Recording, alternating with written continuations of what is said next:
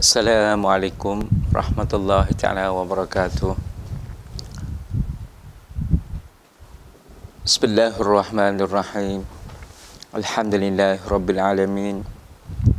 والصلاة والسلام على أشرف المرسلين سلنا محمد وعلى آله وصحبه أجمعين.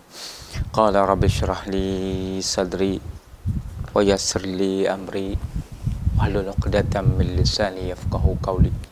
سبحانك لا علم لنا إلا ما علمتنا إنك أنت الأليم الحكيم اللهم لا سهل إلا ما جعلته سهلا وتهزنا إذا شئت سهلا Muslimin muslimat yang dirahmati Allah sekalian Alhamdulillah syukur kita kepada Allah SWT Yang mana kita di pagi ini dapat kita sama-sama Berada dalam majlis ilmu InsyaAllah kita akan sambung pengajian kita. Kitab karangan Syekh Alawi As-Saqaf Iaitu kitab adab dan ilmu dan adab mempelajarinya. Jadi di pagi ini kita sambung lagi Kita sambung lagi di apa yang kita belajar pada minggu lepas Iaitu kita berada di tajuk antara ilmu dan ibadat Syekh Alawi As-Saqaf mengatakan bahawa ilmu dan ibadat ini adalah dua permata yang kita tak boleh nak memisahkan antara satu sama lain. Eh, bila disebut permata, Allah bernilainya, Allah mahanya permata. Nah, maka sebab itulah tak betul sekali mereka datang ke masjid sekadar nak solat bila ada majlis ilmu balik. Nak tak dengar tak hadir majlis ilmu tak dengar kuliah maghrib. Lepas tu bila isyak datang pula sanggup datang. Sanggup tinggal majlis ilmu datang untuk kita ha, menunaikan ibadat. Sebenarnya itu tak betul. Nah, ilmu penting. Ilmu lebih utama di segala-galanya. Sebab itulah bila kita datang solat ada kuliah maghrib. Alhamdulillah syukur boleh tambah value value added. Nah tambah lagi uh, uh, nilai Allah kepada kita. Nah kalau kita solatnya dapat banyak tu kita dengar ilmu oh lagilah. Nah uh, maka kita cukuplah ya kita menerungi dua ayat yang membuktikan bahawa pentingnya ilmu dan ibadat kepada Allah Subhanahu Wa Taala. Ayat yang pertama Allah Subhanahu Wa Taala berfirman Allahu alladhi khalaqa sab'a samawati wa min al-ardi mithlahun yatanazzal al-amru bainahunna li ta'lamu anna Allah ala kulli shay'in qadir wa anna Allah qad ahata bi kulli shay'in ilma. Maksudnya Allah lah yang menciptakan tujuh langit dan seperti itu pula bumi. Ha, mana Allah menciptakan tujuh langit dan tujuh lapis bumi. Perintah Allah berlaku padanya agar kamu mengetahui bahawasanya Allah Maha Kuasa atas segala sesuatu dan sesungguhnya Allah ilmunya benar-benar meliputi segala sesuatu. Itulah ayat yang pertama cukup untuk kita memahami bahawa pentingnya ilmu dan untuk kita memahami sangat pentingnya ilmu berbanding dengan amal ibadat. Ilmu datangnya dulu, amal ibadat kemudian. Nah, kita belajar dulu baru kita beramal. Ini tak kita rajin beribadat. Tapi belajar malah tak nak belajar. Ini tak betul sama sekali. Nah, cukuplah ayat ini membuktikan kemuliaan ilmu lebih lagi ilmu tauhid.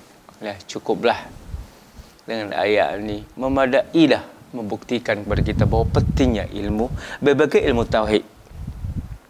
Kenapa ilmu tauhid lebih penting? Kerana ilmu tauhid ialah ilmu yang berbicarakan tentang sifat-sifat Allah, sifat wajib bagi Allah, sifat haruh bagi Allah. Lah, untuk kita mengenali Allah. Maka sebab itulah pentingnya ilmu dan mulianya ilmu tauhid. Sebab itulah kalau kita dapat belajar ilmu tauhid Allah kita akan mengenal Allah. Bila kita mengenal Allah, di situlah kita dapat beribadat kepada Allah dengan sepenuh. Nah, sebab kita kenal Allah. Sebab tu Imam Ali karamallahu wajah Sayyidina Ali berkata, Aku syukur. Kerana aku tidak mati sewaktu aku kecil. Ya, mana Sayyidina Ali syukur. Dia merasa dia ni Allah tak mati di waktu dia kecil. Kalau dia mati di waktu dia kecil, tak sempatlah dia belajar untuk mengenal Allah. Ya, maka dia masuk syurga dia tak tahu. Dia tak ada maklumat maklumat tentang Allah. Ha, tapi Alhamdulillah Sayyidina Ali syukur kepada Allah. Allah tak ambil nyawanya sewaktu dia kecil. Nah, no, umur dia besar dulu dia sempat belajar mengenali Allah. Syukurnya. Nah, itulah sebenarnya ilmu tauhid. Lebih mulia daripada ilmu lain sebab dia mengenal Allah, mengetahui tentang Allah Subhanahu Wa Taala. Nah, ah, inilah nak bukti kamu pentingnya ilmu. Ayat ini Allah turunkan kepada kita supaya kita mengetahui bahawa pentingnya ilmu. Nah, dan bahawa kita mengetahui sesuatu dan akhirnya kita kembali kepada Allah kepada ilmu Allah bukit cantiknya bukit heran pula bukit di pojok bukit tu ada air mata. Ni seperti mana? Di danau toba. Ni danau toba. masya-Allah. Di pojok bukit tu ada air mata keluar. Heran kita. Ni air mata macam mana keluar atas pojok bukit? Biasanya air-air ni kita gali tempat lembah. Ni dok. Keluar di atas. Dan di Danau Toba tu pakai ferry lagi di atas bukit. Masya Allah di atas bukit pakai ferry. Bagaimana Allah menaikkan air di atas pocok bukit Allah ini sudah tentu satu perkara yang bukan biasa semua ni untuk kita mengetahui dan kita kembali kepada kuasa Allah. Kita mengetahui bahawa Allah Ta'ala itu maha kuasa. Keduanya firman Allah SWT firman Allah ayat yang kedua.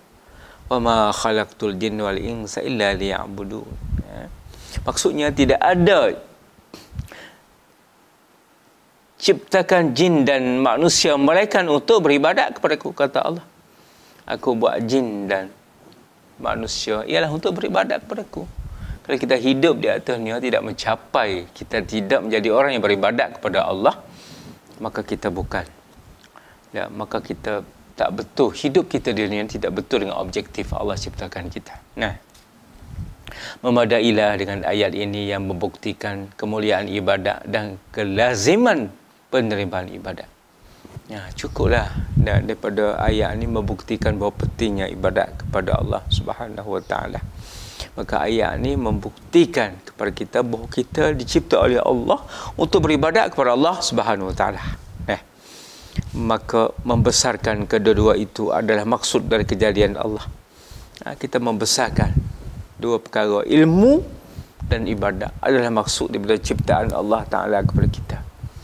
Itulah sebab tu tujuan kita diciptakan untuk kita beribadat kepada Allah dan untuk kita mengenal Allah Subhanahu taala, mengenal kekuasaan Allah. Ya. Maka membesarkan kedua itu adalah maksud dari kejadian Allah. Maka lazimlah bagi hamba bahawa tidak menyibukkan diri kecuali kerana ilmu dan ibadat. Ha, itulah. Sebab tu kita jangan sibukkan diri selain pada ilmu dan ibadat. Sibuklah dan nak buat apa di dunia buatlah. Nak buat apa nak urus apa buatlah. Tapi jangan lupa dua perkara. Ilmu dan ibadat. Nah. Allah.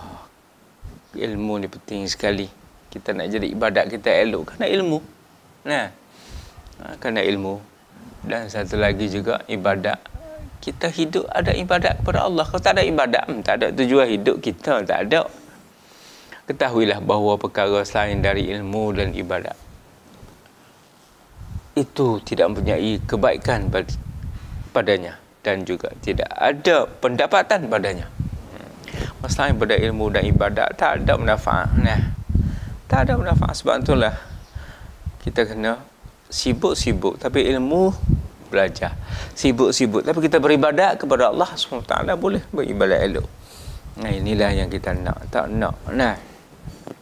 Sikit-sikit ada masalah sikit kita tak beribadat kepada Allah dah sikit yang masalah nah kita dah tak beribadat kepada Allah sebab tu kita kena beribadat kepada Allah Subhanahu Taala nah bagaimanapun dalam keadaan bagaimanapun dua perkara ni nah maka itulah tuan-tuan ya sebagai kesimpulannya ialah dua perkara ni kita jangan tinggal ilmu dan ibadat.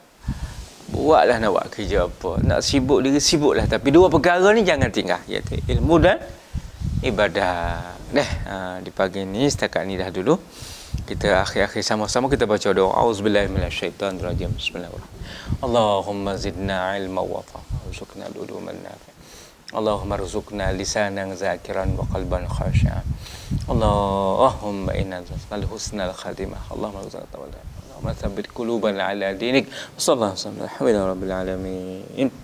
الحمد لله.